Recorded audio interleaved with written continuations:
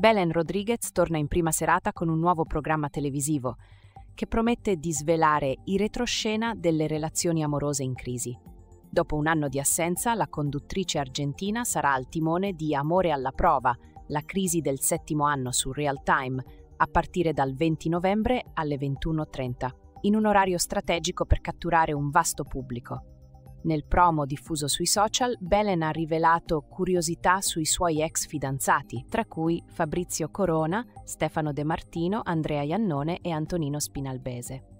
Le sue dichiarazioni hanno suscitato l'interesse dei fan, che si sono messi a speculare su chi possa essere il misterioso ex che ha giurato di aspettarla per tutta la vita.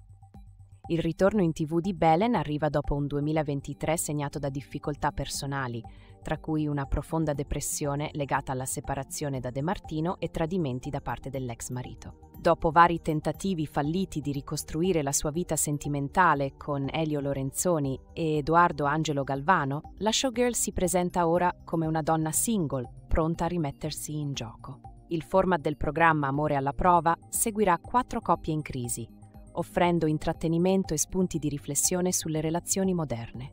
Con il suo carisma e la sua esperienza, Belen guiderà i partecipanti in un percorso che potrebbe rivelarsi decisivo per il futuro delle loro storie d'amore. Con la sua personalità vivace e il suo stile incisivo, Belen è pronta a conquistare